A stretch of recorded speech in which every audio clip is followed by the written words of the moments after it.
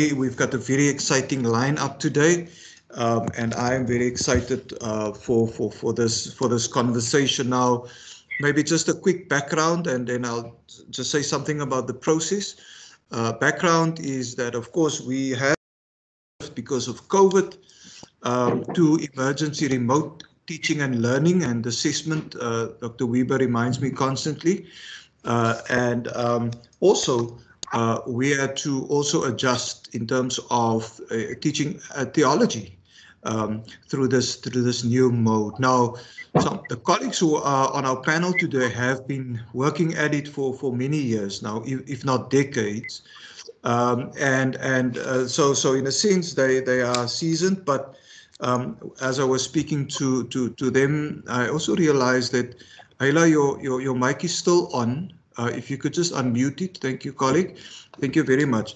So um, as we were discussing it, we realized that you know we can learn from the best practices in teaching theology online, but we can also learn what are the pitfalls, even through our mistakes. Uh, we can learn, and often, you know, when we we've been at it for the last few months, uh, it felt as if it, it, it can be overwhelming. But but we would like to hear from colleagues who've been at at it for, for, for some time now and, and they will share their experiences. Now, in terms of the process, uh, we will do it the same as, as, as we've been doing it now for, for, the, for last week and, and this week. Uh, each uh, speaker or each guest will have about 10, 15 minutes to, to share um, their experiences, best practices, the pitfalls of teaching theology online. Uh, just just 10 15 minutes and uh, then while they're busy we uh, can in the chat function we can just make comments or questions or um, things that you want to add as well your own experiences over the over the last uh, six months um, perhaps things which resonates with with with your own experience uh, and while we're busy with it, uh, Dr. Chantal Weber, who is leading our show towards this, this emergency remote learning will will keep an eye on the chat function and also gather some of the themes that that are common themes that emerge perhaps takeaways. And and then after that we will give her opportunity to also share with us what has been emerging. And then after that we will just allow the speakers again maybe just for a one minute or so uh, just to give us one or two takeaways um, as as as we as we continue our journey. So thanks, colleagues, for joining. I know you know it's busy, and and we will we wouldn't want to take more of your time than than needed. So I will, uh, without further ado, start with Professor Paul Gundani. Uh, Professor Paul Gundani is currently the Vice Chancellor of Zimbabwe Open University. Uh, Professor Gundani uh, has been teaching theology for many years online. He's been in, in leadership uh, at, at University of South Africa. Uh, he's a professor in church history, but, but currently, as, as I've already indicated, he is the principal of the Zimbabwe Open University. And um, we are privileged to have him with us. Prof. Gundani, thank you uh, for, for your time and um, we are looking forward to, to, to, to, your input this, this morning. And then we also have Dr. Joshua John, who is the co-dean at the Oxford Center for Religion and Public Life, one of our partners, especially with postgraduate studies. Uh, Dr. John has been also teaching theology for many years, also through distance, working with many students all over our continent as well as in the rest of, of the South, uh, in particular the Indian subcontinent. Uh, and uh, he is also with us. Thank you, Dr. Joshua John, uh, for, for your time. We're looking for your input as well. And then also the third speaker will be Dr. Kobus van Wijngaard. Um, Dr. van Wijngaard, um, some of you might know him. Um, he is also teaching for, for many years now theology at UNISA. He's been doing some very innovative stuff. Um, so, so we're looking forward to, uh, to, to, to his input.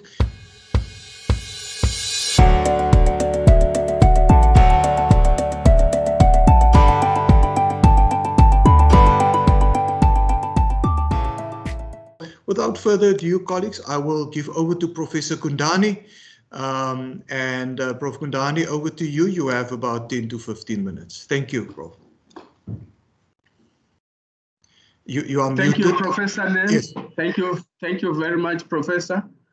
Uh, let me preface my uh, my conversation uh, contribution by saying that I'm uh, a hands-off experienced person. in the sense that I've been in academic leadership uh, for for decades, of course, and uh, I only had uh, hands-on experience, of course, in the in between uh, uh, 2016, end of 2016, and 2020, mid 2019. Then went back to management at the highest level. Uh, but in the process, uh, what I would want to do is to just um, pick on some important points, of course, as as as a member of management, reflecting on some of the work that we have been doing here uh, with direct bearing on religious studies and theology at, at UNISA as well as at Zimbabwe Open University. First, of course, is to say that um, it is very, very important that um, COVID, COVID-19 virus has uh, created for us a chance, an opportunity actually, to revisit our pedagogies.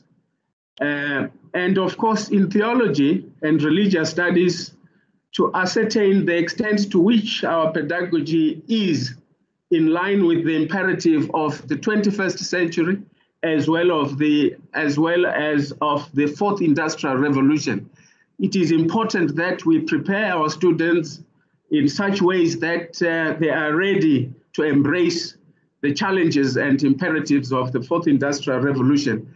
And in that sense, therefore, I think that for theology, it is a great opportunity for us to embrace online teaching um, because our students, uh, whether they are going into the uh, churches, uh, non-governmental environment or into, into other sectors, they must be ready um, and relevant to the 21st century. And I think it is an imperative, it's an ethical imperative for schools of theology and um, of religious studies to prepare them uh, to embrace the challenges of the revolution and the 21st century. Now, when it comes to uh, the teaching and learning delivery approaches that uh, I have encouraged and I have also collaborated with, we have in the last uh, uh, seven or eight uh, months at Zimbabwe Open University been uh, playing around or uh, fiddling around with um, technologies such as Zoom for synchronous and asynchronous delivery of lectures uh, with Microsoft Teams.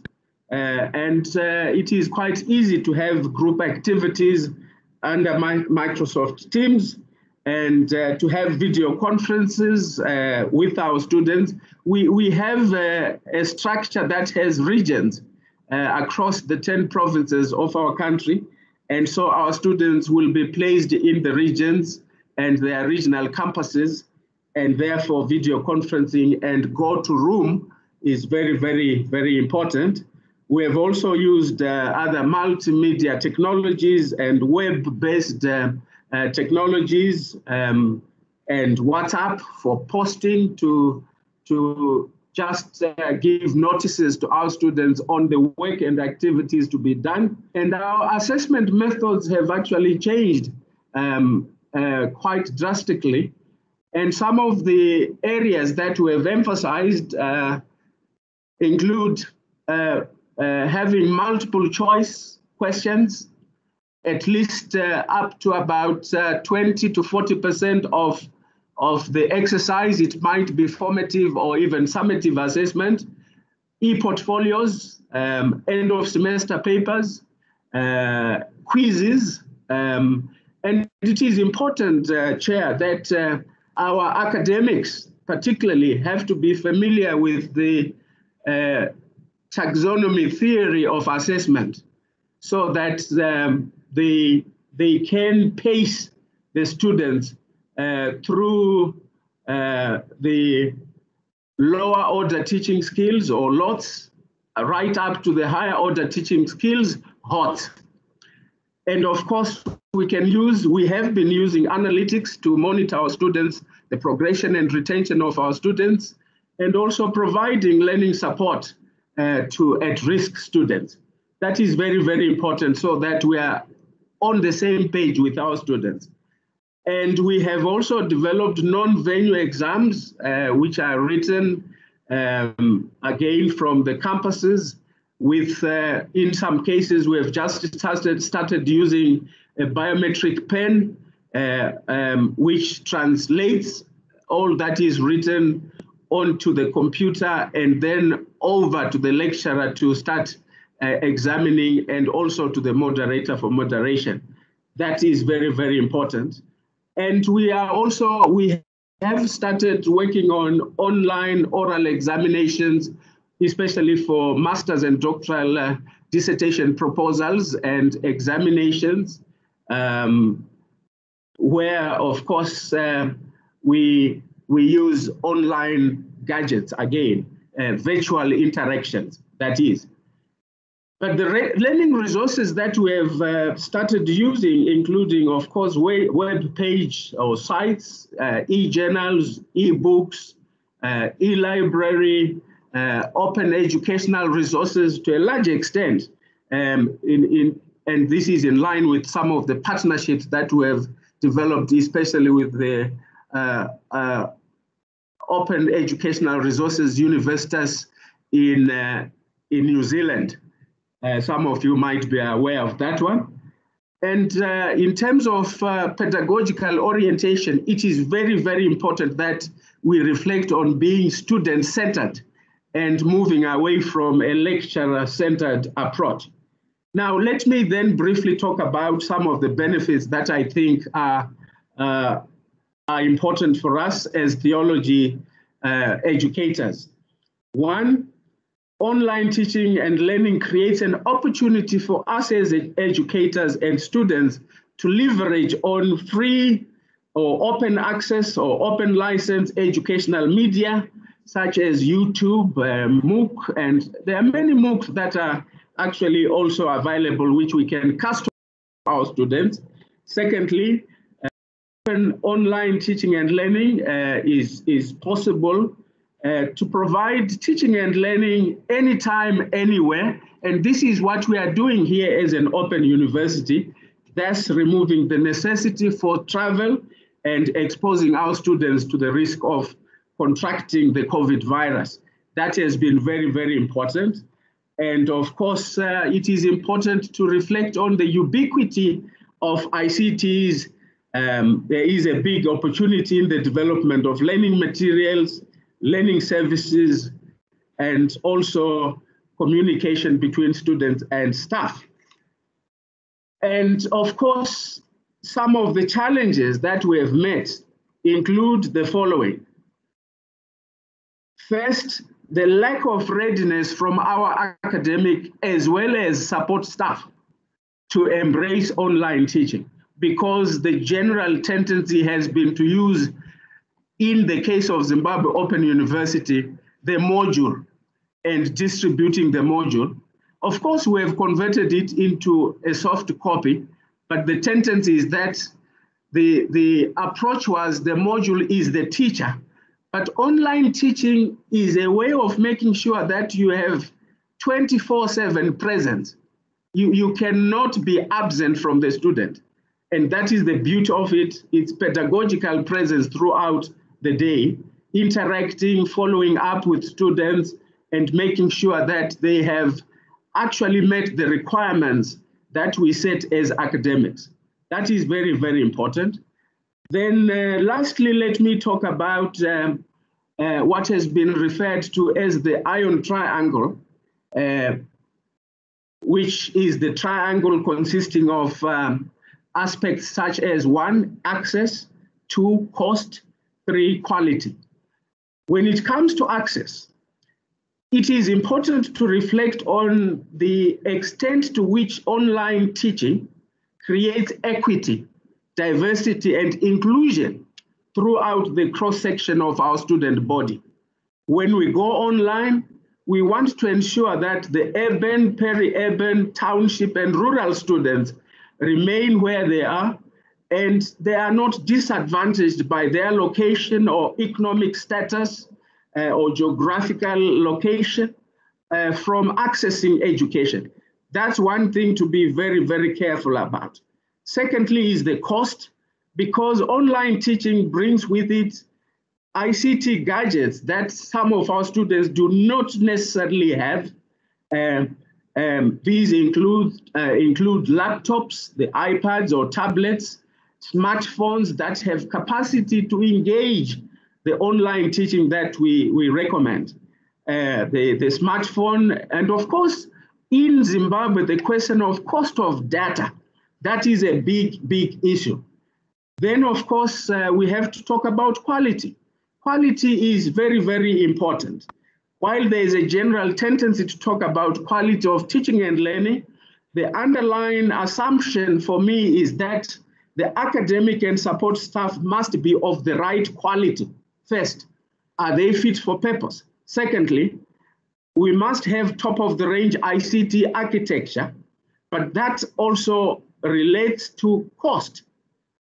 And uh, it is not so easy for us here in terms of cost. Thirdly, when we look at the quality bouquet, uh, it cannot be complete without ongoing research on the scholarship of online teaching and learning. So there is need for academic staff who continuously research what it means to have this online teaching and learning so that uh, as we reflect on the student needs, as we reflect on the changes in technology, as we reflect on the changing learning environment, our research must help us to improve in to, uh, to improve our repertoire repertoire of teaching and learning, online teach, teaching and learning. I think, uh, Chairperson, these are some of my reflections, and we are free then to engage. Thank you very much. Oh, thank you very much, uh, Professor Gundani. There's, there's a bit of an echo here, but uh, I think you've set the scene for us. Um, and uh, we immediately will go to uh, Dr. Joshua John um, and then uh, Dr. Kobus van Wijngaard. And I think that that will just help us to keep the flow and then we will we will come back uh, with, with some questions and comments. So Dr. Joshua John, uh, as indicated, is currently the, the co-dean at the Oxford Center for Religion and Public Life. Um, and I uh, want to mention also the fact that yesterday um, a, a, new cohort of, of students started with a seminar um, here at, at, with Stellenbosch online. And uh, we are very uh, grateful to have Joshua, uh, Dr. Joshua John also with us. Dr. John, over to you. There's, there's a bit of a feedback, but um, let, us see if we can fix that. Yes, can you hear me? Uh, can you see yes. my? Yes, we can see the presentation. Right. Wonderful. I think I just like to uh, highlight a few things. It's a great privilege for me to speak to you. And also I'm thankful to Professor Reggie Nel, the Dean, for inviting me to share a few of my experience. Uh, though I'm not an expert, I must humble myself. Um, I will highlight from my limited experience a few points. Um, I think these are all old questions which we are asking again uh, in terms of online learning. Am I teaching uh, or are they learning? Uh, it's more, I think, a demand to shift from the content-centered uh, information transfer to learner-centered learning. And if that is the case, uh, we need to ask uh, who are they? Do I know them? Uh, do I need to know them? Am I journeying with them in discovering, knowing, and completing the course? And I think knowing learners personally is important for tutors, even if they are too many or invisible. And also, it's very important. The second point, which I feel very important, is do they feel important? They means learners. Are they comfortable in asking difficult questions? I think these are some of those old questions, but I think in terms of online relationship with the tutor and the student, we may have to ask this again. Are they taken seriously by me or by the course content? And then we are also asking the questions, are they allowed to ask less important question or do they feel free to ask some idiotic questions? and thereby they feel seriously about uh, you know being online with you with us changing the teaching pattern uh, style uh, of course you know uh, from dumping to empowering in learning. And it becomes more participatory and interactive. Uh, so we shift from that unidirectional uh, information transfer to interactive learning. So it becomes user friendly too. And uh, sometime in theological education, we need to ask, are we moving from knowledge transfer to skills, professional and vocational skills, and to some extent character formation is going to be more difficult because in the residents or in the kind of regular attendance, we can observe and we can engage, uh, including the skills put in place and character being formed. Whereas in the online, we may have to collaborate with the churches and the mentors and uh, possibly we may have to develop a different level of learning even at phd or mth level we may have to have this supervisor or lecturer and then tutors who can support with other systems in place. And then we also have mentoring pastoral support. So there are different structure needed even to provide support. And uh, in order to have the character and reflexive way of learning, we also need immersion and immersion-based learning in their context. So this is a few things I just like to start with the learner center. And in the online learning, of course, they learn in their own context and uh, also create a virtual learning community. Um, uh, they uh, it, recently we realized that making them to prepare beforehand to come for the lecture is better than just come and attend and ask some questions. Because if you give them the paper beforehand, ask particular students to read and participate by, uh, you know, responding to the paper, give them five minutes. So there were a number of students who were doing this. They really liked it. In a sense, they read the paper beforehand and they prepared themselves for response and they were part of the presentation. So it made the whole student body involved and creating that virtual learning community. And also it gives a paradigm shift in learning, taking theological education to them in an asynchronous learning. It's a multiple ways, you know, you need to make sure, of course, it's a technological side of even the mobile phone or any other ways they, they can engage and join us. And we have used uh, Telegram and uh, we have WhatsApp group and uh, all sorts of things to engage. Because in the normal learning process in the classroom based, we, many students learn during the coffee time, lunch break, but now every, every side of learning to be taken into this whole process.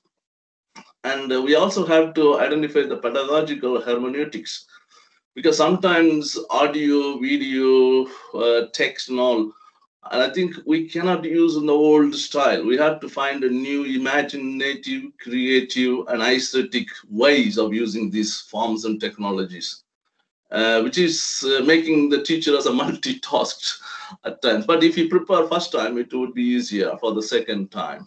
And uh, new method has come, which is called self-directed learning um, how do we enable the students learn by themselves, set their own learning outcomes, and how they are capable and they can recognize their limitations and strengths in what way they can complete reaching uh, the learning outcomes by themselves. And then we journey with them. That is very interesting new model, self-directed learning in the online courses. And then we also have peer-initiated learning how do we form groups among themselves so that they can support each other and learn together and uh, this is a new world of learning which we are discussing of course uh, you know monitoring of course quality control and uh, reaching learning outcomes because sometimes we seem to deliver lectures. Yes, I have done that, but you know, at the end of the day, uh, only two, three people complete the course, and we are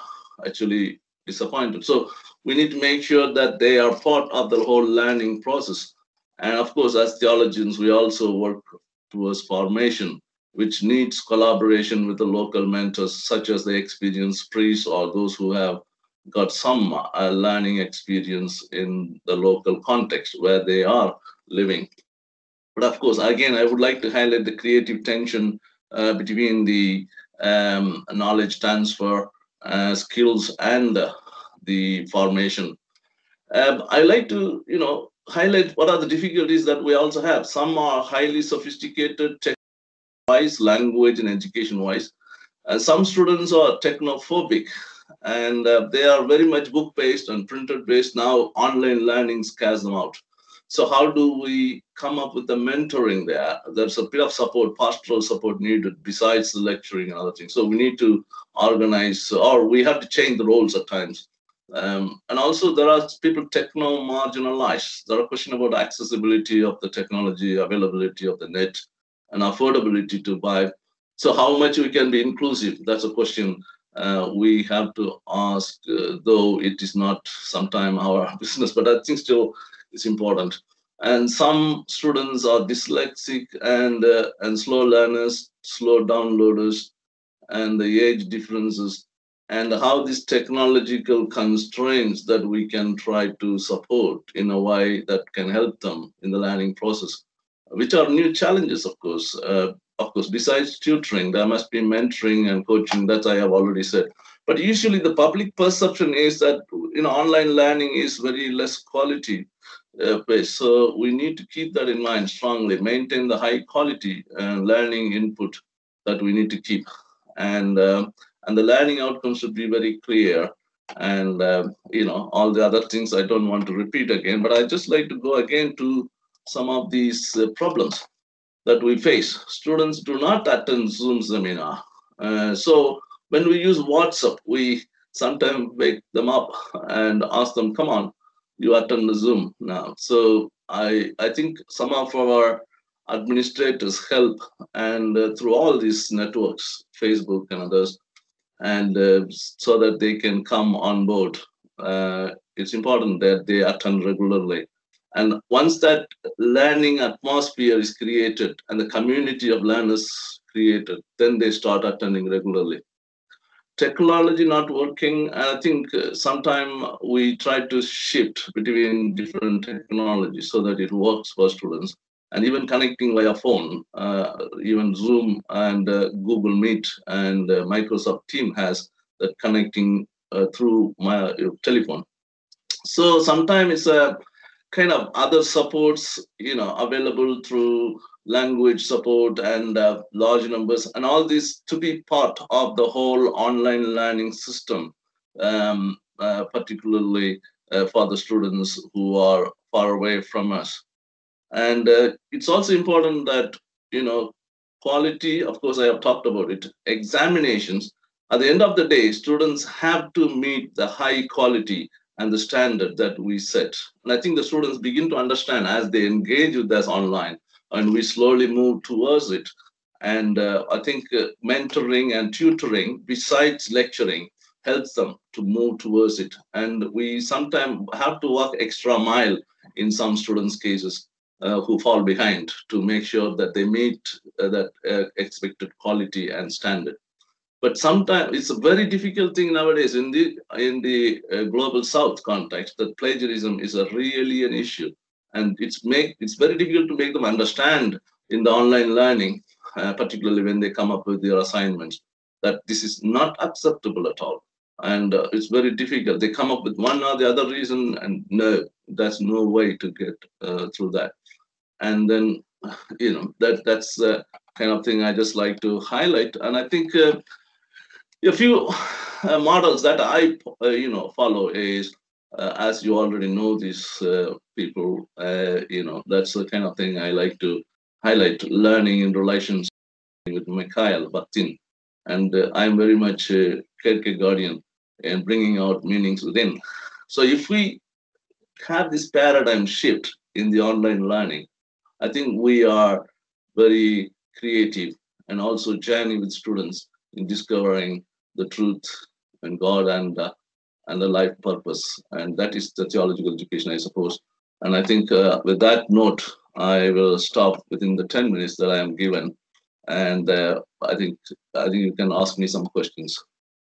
Wonderful.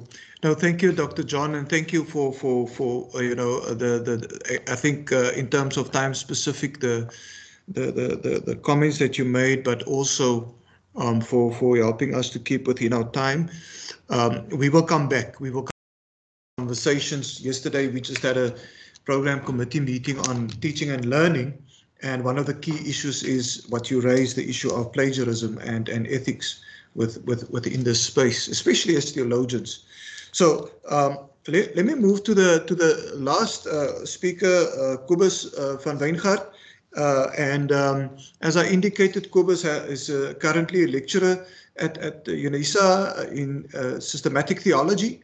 And uh, some of you know Kobus, but I think Kobus has been at it for some years. So, so in a sense, you know, we would love to hear, you know, those best practices, but also and and some of his experiences over the last few years. So, Kobus, over to you. It's good to to have you with us. Uh, Thank you, Reggie, and thank you for the invitation. I'm having a little bit of internet trouble on upload speed, so I hope this uh, screen share is going to hold. If not, I'm just going to stop that and put audio only, if that is not a problem. Uh, let me start with a bit of a confession. As we moved through April and May of this year, I often heard colleagues from other universities mention something along the lines of how prepared UNISA must have been for a situation like this. And, and I personally never knew how to respond. I mean, indeed, in some things, I think it were easier for those of us working from an open distance learning environment.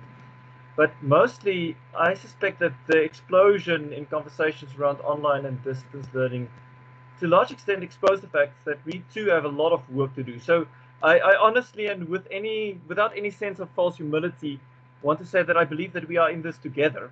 But I'm also grateful for the opportunity to share something of what we may have learned from our context. What I want to do today is to reflect somewhat personally on the kinds of shifts in thinking that was required for uh, myself coming from a, a, residential campus, that was where I was formed, moving into an open distance learning environment. But I also want to speak of teaching theology quite specifically, and then I'll conclude with what I consider to be some important lessons learned, and specifically matters on which I suspect we need to push against the popular consensus as it emerged since March of this year. So just a note of warning, I speak from a context of permanent and exclusive online and distance education. And some of this may not be relevant for the kind of temporary online stints that many of us have been drawn into over the past months. But perhaps our having this conversation in October of 2020 is also a reminder that this is not going to be temporary.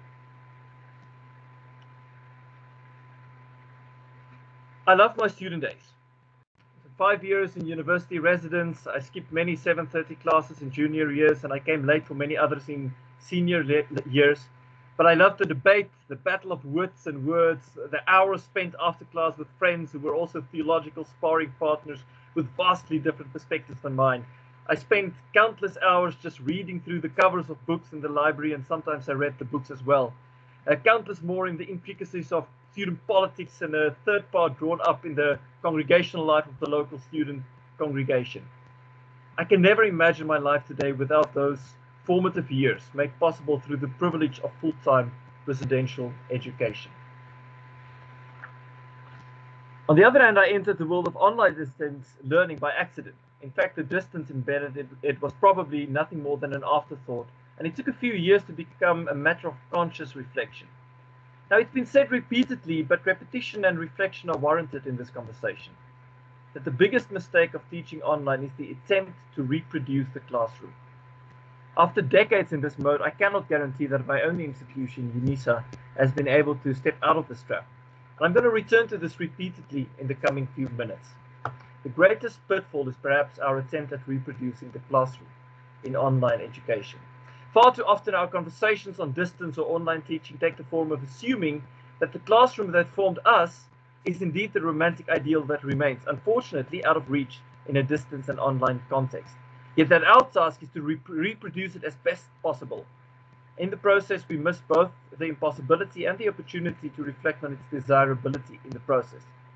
Its extreme version is found in the fairly low budget single camera that records the talking head as it blabbers for an hour of lecture, forgetting that the value of the lecture was exactly in its interruptions.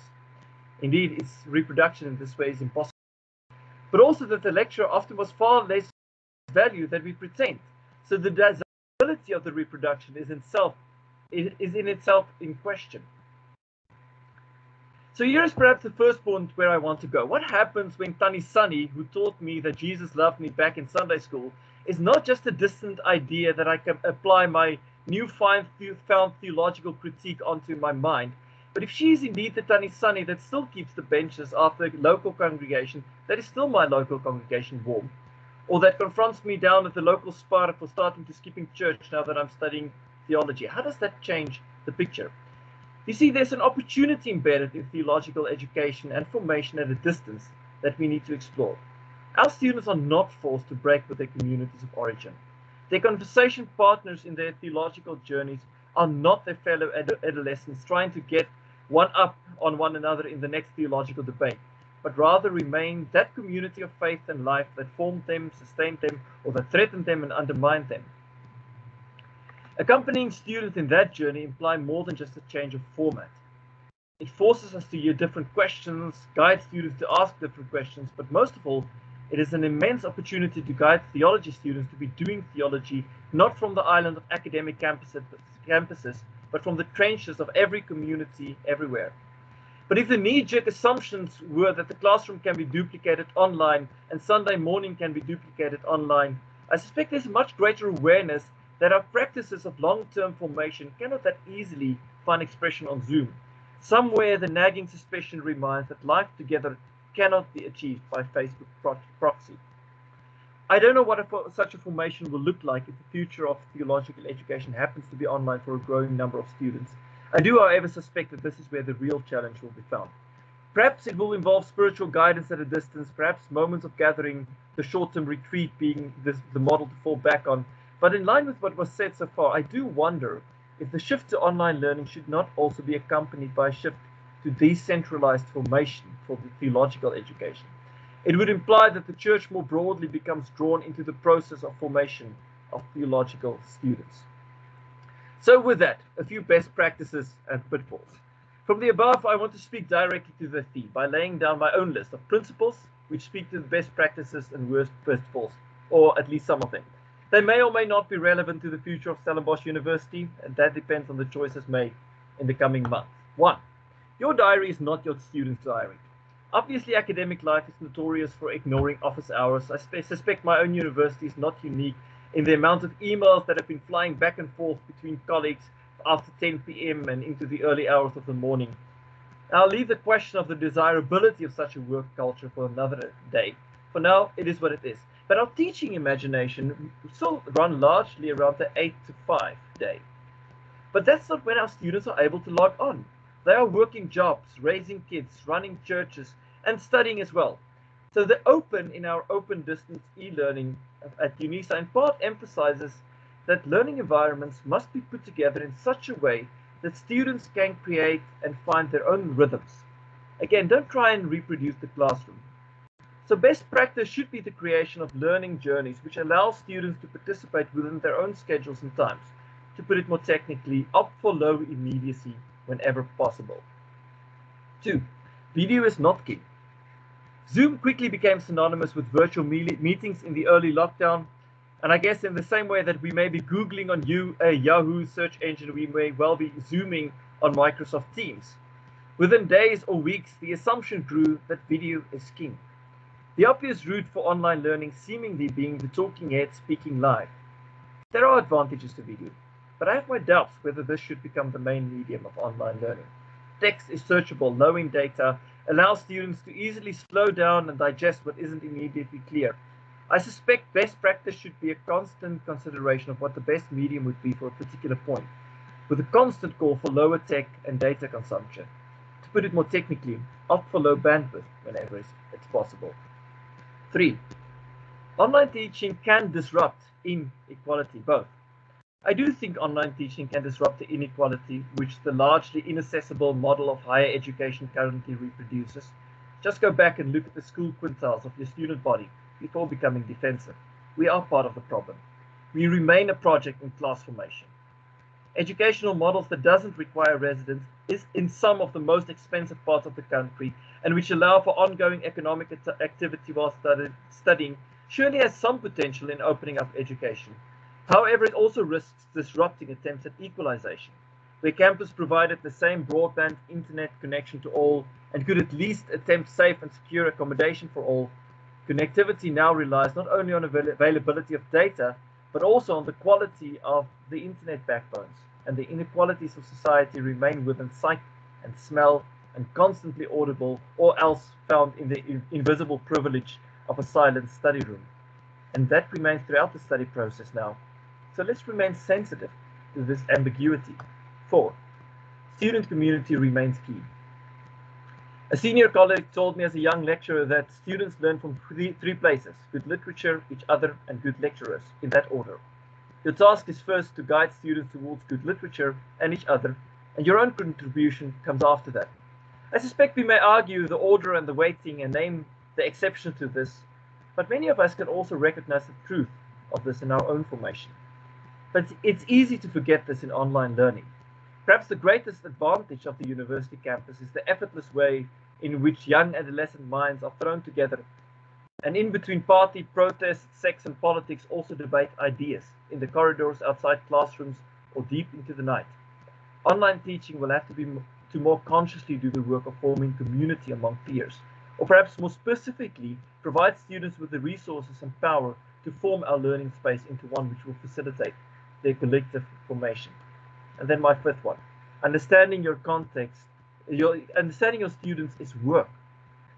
So lastly, in the same way that conscious labor is required to facilitate what the forced joining of bodies on a university campus often does among students, there is work to be done in understanding our students.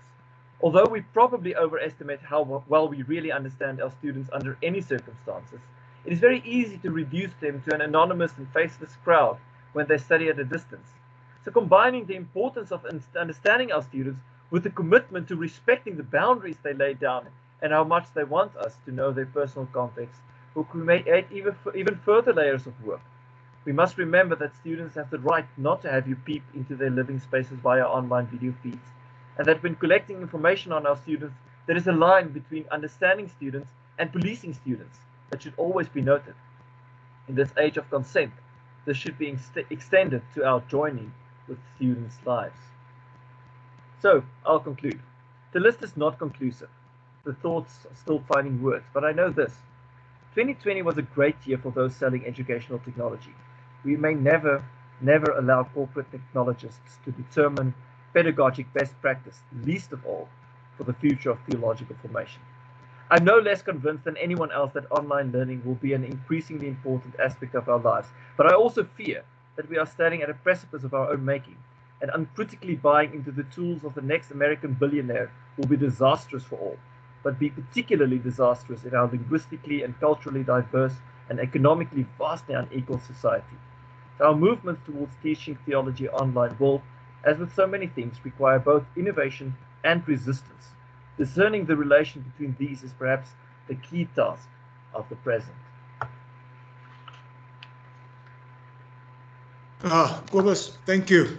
Um, and and thanks thanks to the colleagues. Uh, you know, everyone, uh, you've you've really set the table for us, um, and and we are we are very excited. You've challenged us, you've stretched us, and and yes, there was a bit of humility in in how you presented yourselves, but but I think I think it was valuable. I, I found it fascinating. Kobus, your screen is still on. So um, can can I can I ask uh, Dr. Chantal Weber to to to she she is sort of on a on a mobile connection. So I'm going to immediately put uh, put a uh, you know um, you know to to speak. But but while she's sort of unmuting. Um, I just want to say thank you also for our support staff who are here. I, I just noticed many of our support staff are here, our, our administrators, uh, Hayla from, from the library. And, and I think this is an important, uh, like I said last week, a community of practice where you where you start to to think differently. And and colleagues, you are challenging us. Uh, our tutors also who, who have joined us. It's it's wonderful to to to see you here present. So, uh, Chantal Weber, over to you. Thanks, Dean, and thanks to everybody. Uh, just to kind of mark when I'm done, Dean, that um, our colleague Peter Nagel has hands up, so he has a question. But just to kind of highlight some of the key areas from the different colleagues, it seems that there is a constant, even now connecting to last week's uh, session, this constant reminder of the importance of institutional collaboration uh, colleagues speak about the networks they have with other institutions to make access or technology possible for for students. So that seems to be coming through from last week and again two speakers today. Um, and then overall, all the speakers seem to speak to the importance of equipping faculty uh, and staff. Um, so not just in terms of preparing for online technology, uh, but also just what this means, like we're doing now in terms of online teaching, in terms of building relationship. And of course, now um, Kobus spoke also about what does relationship within a theological faculty being online look like, but also the importance of equipping faculty with the necessary tools. Uh, you know, there's been various modalities mentioned today, MS Teams, the different e-resources and apps uh, the whole importance of staff understanding the importance of even with the learner centeredness having moments of immersion for students to kind of engage with. So this all speaks to me about how we prepare and equip our colleagues in terms of uh, teaching staff but also administration staff. And i think the the last key thread that comes through all the speakers and highlighted even more in the last one now was the importance of also planning properly. I think we could learn from this even in our stint this year uh, for student support. Uh, and that's technological support, uh, but even uh, Dr. Joshua spoke about the importance of language, you know, what language looks like, but also one of the things that I highlight from his talk um, is the technophobia that students may have, not because they're lazy or not because of access, but actually one of the things we didn't take into consideration, or at least I didn't, is learning um, difficulties that students have or obstacles to learning, like dyslexia. So, what does that then do to a student having to go online? Um, all the speakers spoke about the importance of pastoral, but also psychosocial support, and of course, highlighted quite a bit in this last talk the importance of how we continue to spiritually form or create opportunities for spiritual formation for our students because we are a theology faculty and we do want to embrace relationship and support in a different way. The questions, of course, of how we can do that. Uh, it is also important, just lastly, to to see the connections from Prof. Gundani's lecture to scholarship uh, and how we develop scholarship even in this sense on what online teaching means, what hybrid learning means. Uh, and that connects also to our recent call just for the external colleagues uh, to become part of the scholarship of educational leadership which Stellenbosch hosts. So that was also a connection point. So Dean, that just summarizes the three points, importance of institutional collaboration, importance of equipping faculty and staff, and the importance of student support on the various levels. Thank you. Mm, absolutely. And the issue of uh, community, né, relationships, um, I think I think that that's also crucial. Uh, sorry, Peter, I, I didn't see your hand, but uh, over to you uh, or any other colleagues that, that want to maybe make a contribution or ask questions to the specific speakers. Peter Nagel, you are first. Yes. Thank you, Dean. Uh, thanks to all the speakers. Uh, just a disclaimer that I'm obviously a a, um, a faithful disciple of open source uh, uh technology, so I have to just put it out there. My, I am, I'm curious, uh, uh, but simultaneously, you know you know, confused. Uh, why uh, it seems to me, at least from my point of view, that uh, higher education institutions in Southern Africa and on this continent has not yet uh, um, embraced uh, open source. Uh, the, the, the big names, the Microsoft, the Googles, the Facebooks, and of course Zooms, uh, the, the, the highly capitalized commercial uh, uh, platforms have been adopted. And I'm wondering whether this is not actually perpetuating inequality. Uh, and I'm not suggesting here that open source is the um, the only way in which or through which one could address inequality and accessibility. But I definitely would want to believe that it's worth a try. And and uh, uh, furthermore, I'm I'm I'm wondering whether we can talk about teacher orientated or student orientated. If an institution opts for certain uh, technology, be it Microsoft Teams, be it Zoom, um, it actually determines curriculum forming, uh, planning, etc. And that in itself enslaves uh, or would at least have the potential of enslaving lecturers, students uh, in, in years to come, decades to come, uh, uh, because it opts for a certain platform that is uh, funded in a very specific way. So I just want a response from the contributors. Why open source has not been embraced to the extent, at least, that I would want to see it happen. Uh, um, I genuinely believe that it could assist and contribute to accessibility and eradicate or address inequality in a virtual uh, environments, teaching and learning environments. Thanks, uh, Dean. No, thank you, Peter.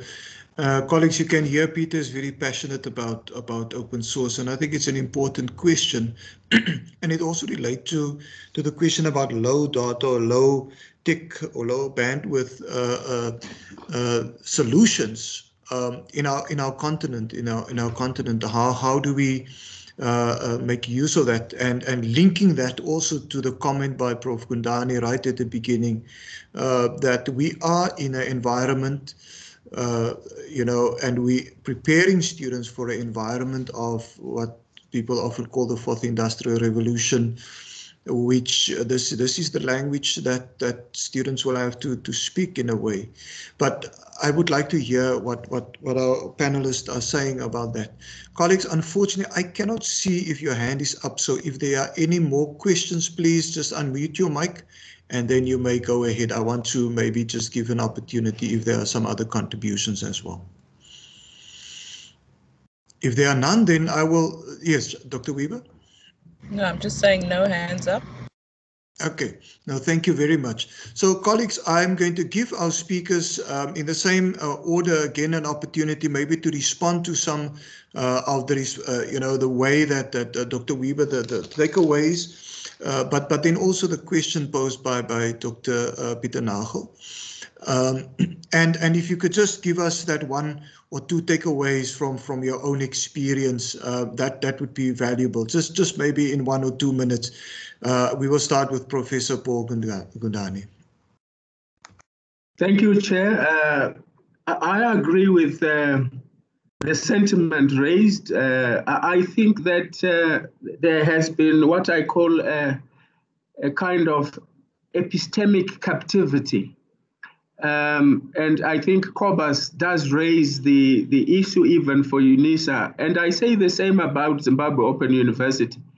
There is that tendency also to be, uh, to have a phobia for new things, for novelty. And, and open source is definitely available. We have uh, used it here at the Zimbabwe Open University, um, not, not uh, uh, in as fast a way as, as I would like. But uh, for instance, if I, I, I make reference to Moodle, the, the importance of Moodle, it, it has been the hub of our teaching and learning model, uh, model here because it is amenable to customization. And we have customized it uh, because it is an open source uh, technology. And um, the, through customization, we can achieve some of our, our, our objectives as an African uh, university in Zimbabwe. And uh, of course, this should be related also to, to open license um, um, uh, resources associated with uh, open educational resources. But of course, um, while I agree that it is very, very important uh, in, in then creating a situation where you do not decide uh, for the students by adopting Zoom or you adopt uh, Microsoft Teams or you, you adopt um, whatever other alternative. There is a general fear, or yes, let me say fear also, or cautiousness that whatever the case, even open, open source uh, um, materials, they, they, they, they tend to be uh, in, in a way, let me say, uh, I, I, I, don't want to say Eurocentric, I, I want to say North Atlantic dependent uh, to the extent that they, they raise this question about uh, uh, some kind of epistemic colonization, if I may say. So there is some uh, cautiousness to, to just embrace without really understand why open source is open source. What is the hidden agenda of the open source? Uh, where is what is the room for us to engage equally as partners in its creation and not just in its embrace? That's that's that's certainly one of the issues that I, I, I'm throwing onto the panel to reflect on. Thank you, Professor Gundani. Uh, uh, Dr. Joshua John? Yeah, I think um, I, I my the, my previous uh, professor has said it all, and I I think uh, the property voice which your professor raised about open source uh, should be kept in mind, though it is not within our decision making. Is a big kind of institutional and uh, you know other decisions they are made. But I think we should keep pushing it. Uh, that's a that's a good uh, uh alternative prophetic uh, imagination that we should push that as theological educators uh, as an alternative, and also even we should foresee a future African alternative of the software that can provide a platform for us. That could also be in our imagination. But I think for me, I like to highlight two, two, three things which we can think about. Uh, learning anytime, anywhere. That's one thing, very important. Learning anytime, anywhere. Uh, it's uh, it should be taken into our account, and how that can be to meet the quality that we want to uh, raise up to, and uh, also theological education to the whole people of God. It's not why we limit only to you know registered students and also others who can audit and pay for the courses which may increase our revenue as well as uh, the whole people of god who may want to know what is going on in specific courses and that's quite interesting to know so for me accessibility and affordability and uh, availability of the technology and learning process are very important but somehow how we can support it as university, as non-governmental, as well as the faith-based organization. We are keen actually to also explore how uh, cheap ways we can enhance the internet access to those students who cannot access. We are keen to engage in those lines. So we can explore that, uh, you know, possibilities of uh, is there something that we can explore together where uh, at a reasonable cheap price that we can enhance the reception of the students in some ways where this accessibility is under question. So that's uh, my point. No, thank you, thank you, Dr. Joshua John. And I mean, you you're suggesting concrete ways in which we can take it further. The the, the challenge that that uh, Dr. Nagel, Peter Nagel raised Kobus, you have the last word, um, and um, uh, over to you. I'll, I'll, try and keep it under a minute. Um, so, so three brief comments. One, I hear the comments around for fourth industrial revolution. My brief response is just to say, let's remember that low data is not low tech. Mm. Uh, these are not the same things. We can we, we, we can embrace innovation while still remaining very sensitive to data limitations. Two, on, on the open, open source, uh, Peter, I, I, was looking for the, the, Zoom clap button because I wanted to clap while you were speaking. Uh, absolutely. Uh, from a UNISA context, we were working with Sakai for many years now. Mm. I can say that it is complicated. Um, open source, the open source tools doesn't always perfectly fit our needs. The, the embeddedness within the North Atlantic was already mentioned. Our universities are often, uh, and particularly with the UNISA, but not only with UNISA, our universities are bigger than what these developments were developed for. So if we are going that route, we require very strong uh, IT support departments to be able to do that, mm. and their collaboration amongst global south universities that say what are these particular challenges will actually uh, assist the process. But but absolutely, I think that is a key component that we that we need to uh, need to keep to. You've heard my um, my last comments and my conclusion. I am concerned about the sellout that is happening. Mm. And I'll stop mm. there.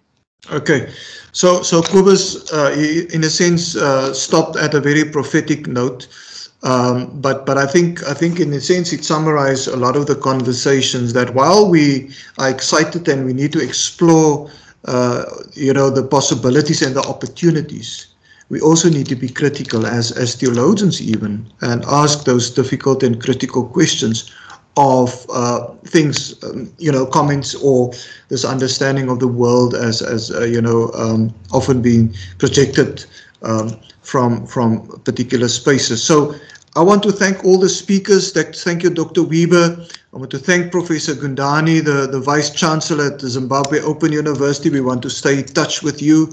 I want to thank uh, Dr. Joshua John from the Oxford Center for Religion and Public Life. We are in partnership with you. Thank you for your contribution. Um, you uh, also represent the Barnabas Fund, and for the role that you are playing, I want to thank uh, Dr. Kobus van Wijngaard. Um, you, you left us with a lot of things to think about, uh, but I think uh, one of the things that we want to say is that we want to continue the potential that, that is in these collaborations. Colleagues, thank you for your time. It is lunchtime now, and uh, we appreciate the fact that you have spent our time and uh, let us continue the conversations. Uh, next week we have a different team, different episode, and we are looking forward to, to that. Thank you, colleagues, Professor Gundani, uh, Dr. Joshua John, and uh, Dr. Kobus van Wyngaard. Thank you for your time, and, and colleagues, all the best, and have a wonderful day further.